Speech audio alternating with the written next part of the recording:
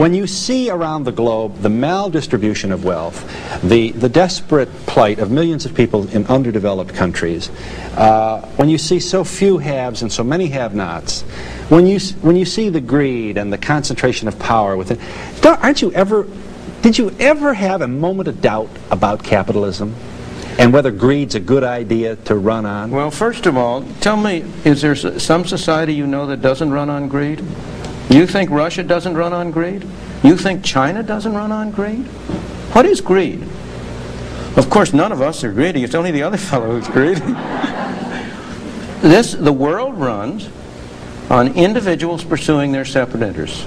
The great achievements of civilization have not come from government bureaus. Einstein didn't construct his theory under order from a, from a, a bureaucrat. Henry Ford didn't revolutionize the automobile industry that way.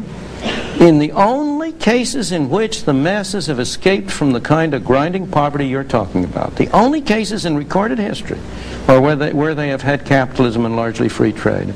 If you want to know where the masses are worse, worse off, worst off, it's exactly in the kinds of societies that depart from that.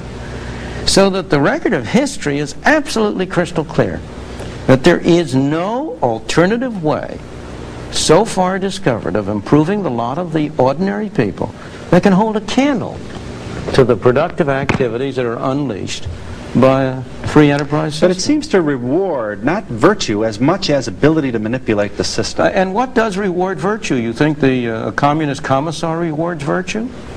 You think a Hitler rewards virtue? You think, excuse me, if you'll pardon me, do you think American presidents reward virtue? Do they choose their appointees on the basis of the virtue of the people appointed or on the basis of their political clout? Is it really true that political self-interest is nobler somehow than economic self-interest? You know, I think you're taking a lot of things for granted. And just tell me where in the world you find these angels who are going to organize society for us. Well, I don't even trust you to do that.